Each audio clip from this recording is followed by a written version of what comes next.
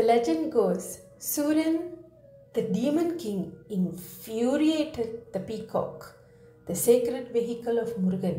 He told the bird that both Garudan, the sacred vehicle of Mahavishnu, and Hamsa, the swan, the sacred vehicle of Saraswati, could fly higher and faster than it.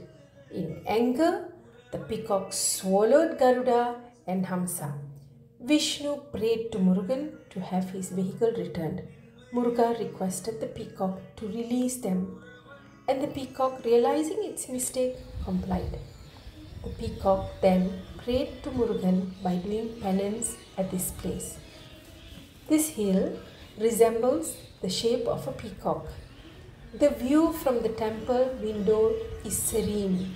One can hear the sounds of parakeets inside the temple. However, there are many happily playing outside on the roof, making such a din. Shanmuganathar stands with both his consorts, Valli and Devanai.